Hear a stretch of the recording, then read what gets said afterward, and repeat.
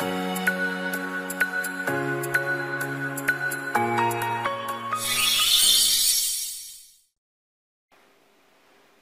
い、こんにちは、レトスドーノです。今回なんですけれども、土地区画整理事業の施工者について解説いたします。誰が土地区画整理事業を行っていくかっていうことですね。大きく分けて、民間施工の場合と公的施工の場合があります。民間事業者が行う場合と公的な機関が行う場合、大きく分けてこの2つに分けることができるんですね。で、さらにちょっと細かく分けていきます。まず民間施工の場合なんですけども、3つあって、個人施工、土地区画整理組合、区画整理会社、この3つがあるんですね。個人で行う場合、組合を作って行う場合、会社として行う場合、まあ、この3つがありますと。で、まず個人施工の場合なんですけども、施工区域内の宅地の権利者の同意を得て、で、知事の認可をもらって土地区画整理事業を行っていきます。まあ、つまり工事を行う土地の権利者、この人たちが同意をする。で、同意をした上で知事が認可をする。で、この区域内について土地区画整理事業を行っていくといった流れです。これは一人で行うこともできますし、数人が共同して行っていくっていうこともできます。一人の場合っていうのはもうすごく広い土地を一人の人が持っていた。まあ、地主ですね。地主が持っていて、その地主が土地区画整理事業を行う。まあ、こういった場合もあるということです。で、この同意っていうのは、事業計画について。で、二つ目が組合ですね。土地区画整理組合。この土地区画整理組合っていうのは、宅地の所有者、借地権者が7人以上が共同して組合を作ります。で、組合を作って、組合が事業計画を作成します。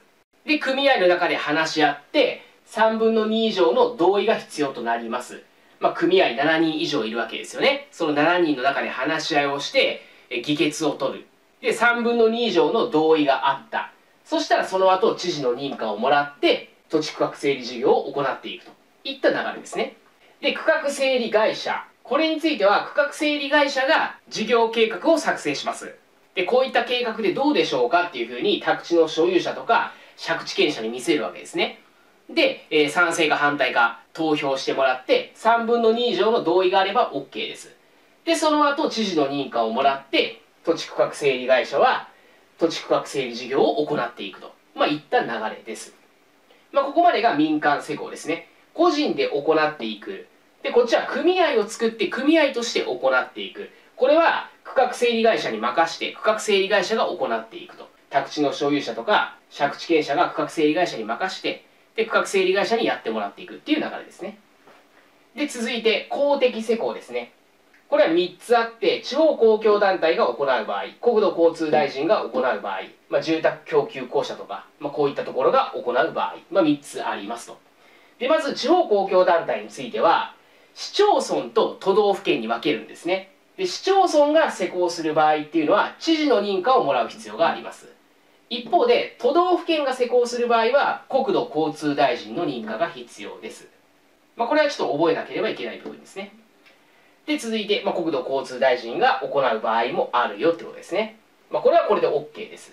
で住宅供給公社とか、まあ、こういったところも行うことができますんで、ま、この辺りも覚えておくといいでしょう。でこれらの公的施工の場合っていうのは必ず都市計画事業として行うんですね。この公的機関が土地区画整理事業を行う場合この土地区画整理事業っていうのは都市計画事業の一環として行うって話なんです。都市計画事業の中の一つの土地区画整理事業っていったイメージなんですね。まあこれはちょっと押さえておきましょう。民間施工の場合っていうのは都市計画事業として行う場合もあるんですけどもそうじゃない場合もあるんですね都市計画事業じゃなくて、まあ、自分たちで行う事業みたいな感じで行う場合もあるんですよ。なんでその点は注意しましょう。この都市計画事業っていうのは都市計画法でも勉強した内容ですよね。まあ、わからない方はちょっと復習をしておきましょう。まあ、このように大きく分けて民間施工と公的施工に分かれますよ。で民間施工は3つありますよ。個人施工、組合施工、区画整理会社が施工する。まあ、3つありますよ。で、公的施工の場合は、地方公共団体とか国土交通大臣とか住宅供給公社とか、こういったところが行うこともありますよっていう内容です。なんで施工者についてはいろいろちょっとありますので、その点はちょっと頭に入れた上で、民間施工の場合は必ず知事の認可が必要になってくるので、この点は注意しておきましょう。